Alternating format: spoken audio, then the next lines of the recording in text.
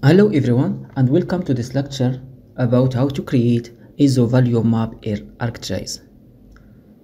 So we will see how to create an ISO value map from point station or from location or point.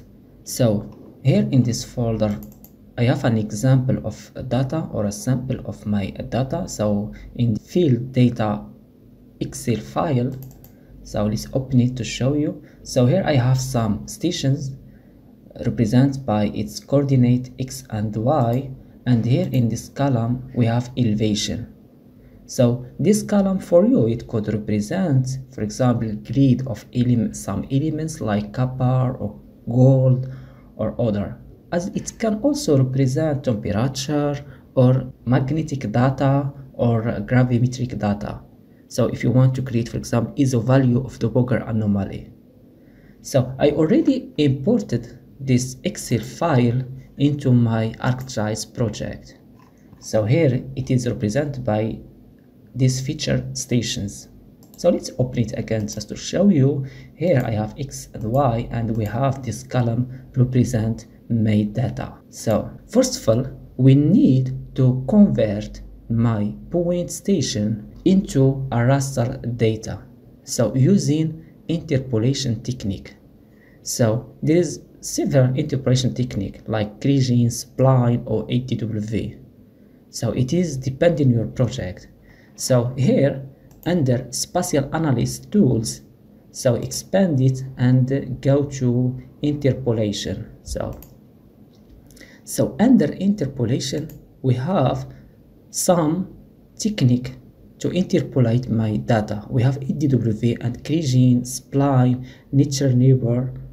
So let's select just to show you uh, interpolation technique. So double click on IDW or Kriging and here in the input point feature, so let's import station feature and here for Z value, so you select your data it could be as i said before grid or uh, gravimetric data or other. And for output raster so let's define the output raster. So here you need to add extension of the raster and click on save. And for output cell size so the cell size it represents the pixel width and length. So so let's for example select uh, 5 meter and click on ok.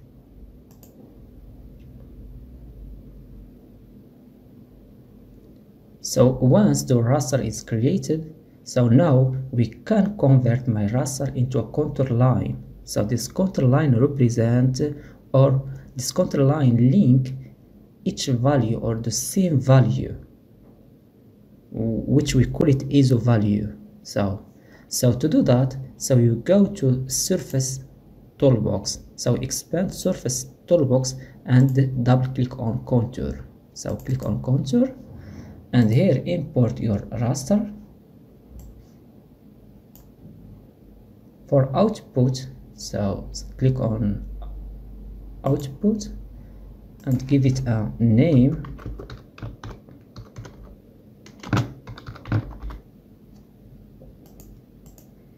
and click on save.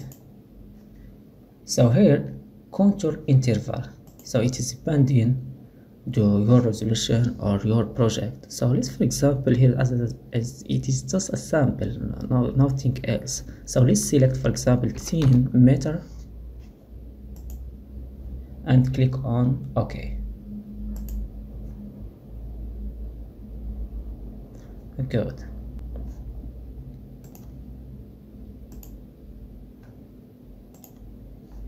so now I created my ISO value map. So you can for example let's do some other tip for you. So properties and categorize my lines. And I will add in description of this video and how to categorize your contour line. So so we go to sample sheet categories. Here we have the contour at all value. Click on apply. Just to show you how to difference between the contour line. And you will find in description a complete tutorial about how to categorize your contour line. So thank you for watching and see you for next video